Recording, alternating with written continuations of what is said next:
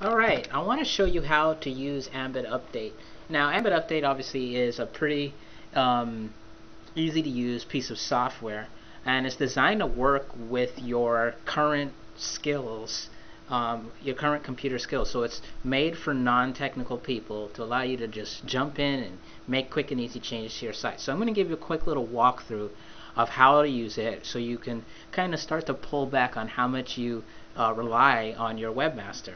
When, it, when you need changes, you can get them done. So once you have Ambid Update, you have access to this button, which once it's installed, you just go to a page on your website. And this is just a sample uh, website I threw together to demonstrate stuff.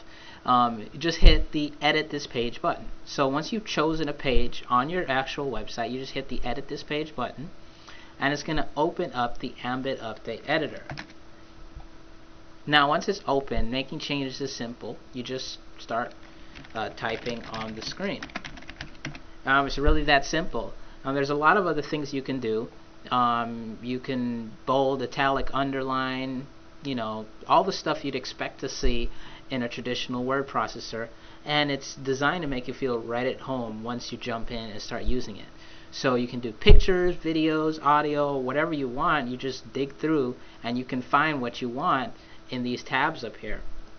So once you're done, once you've made the changes you want uh, to make, all you have to do to make it live for the world to see is hit this publish button. Now if you're not ready for the world to see your wonderful changes, you just hit the save button and it'll just, you know, store a local snapshot of your site.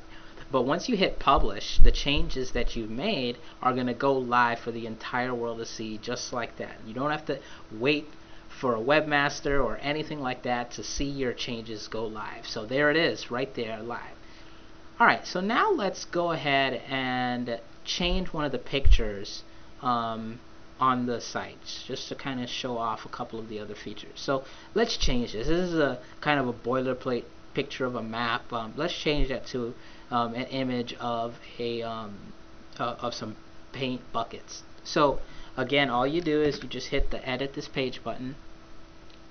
Um, and then you're taken inside. It's open.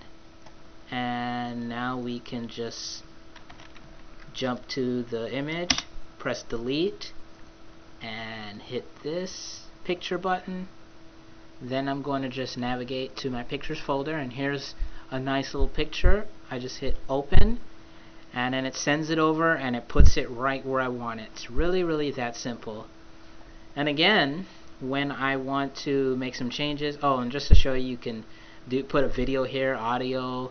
Um, if you want to hyperlink it somewhere else, you can do that right there. There's really, really whatever you want. There's, there's something there.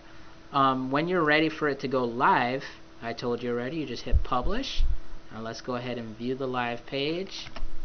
And there it is. Really, really simple, that was not very hard to do. You just get in and you make your changes and you're done. Now, obviously, if you ever get stuck or you have any questions, um, there's a professional webmaster that can help you right there live as if they were in the same room with you right here behind this, uh, behind this button. So it's really simple. Now, if you don't have uh, Ambid Update yet, just head over to ambidupdate.com forward slash try it now. You just type in your website, hit this button, and you're in you can start making the changes um, to your website anytime you want. Now, once it knows how to talk to your website, um, then you can publish them, publish the changes live to your website anytime you need them. All right, so that was Ambid Update.